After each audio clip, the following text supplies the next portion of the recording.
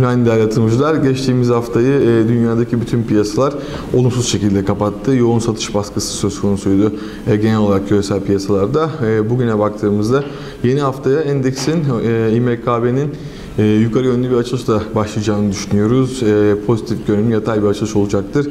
73.500 seviyesinin üzerinde başlayacaktır endeks. E, bu açılıştan sonra 74.000 seviyesini test edecektir.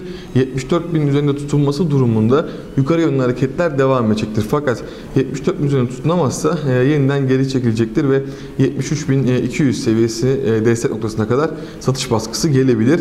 E, burası önemli bir nokta. Hem 200 günlük ortalama hem de önemli bir destek noktası. Buranın kırılması durumunda satışlar 72.500 seviyesine kadar devam edecektir. Ama e, açılışta pozitif açılışı eğer tutabilirsek ve 74.000 seviyesinde tutunursa endeks e, yeniden 74.500-75.000 seviyelerini test etme olasılığımız yüksek. E, sabah saatlerinde bütün gelişmekte olan e, ülkelerin para birimlerinde dolara karşı bir değerlenme söz konusu. Dolarda bir düşüş söz konusu. Bu olumlu e, olumlu yansıyacaktır piyasalara ve e, genel olarak yukarı yönlü bir hareket yapabilirler. Tabii ki bu e, gün içerisinde değişmezse. Dolara baktığımızda ise 2.27'lerin altına sarkması durumunda 2.28'in altına sarktı e, sabah saatlerinde. 2.27'nin altına sarkması durumunda 2.26 seviyelerine doğru geldiğinde e, piyasa tetiklenebilir ve yukarı yönlü hareketler hızlanabilir diye düşünüyoruz. E, bu gün e, doları takip edeceğiz.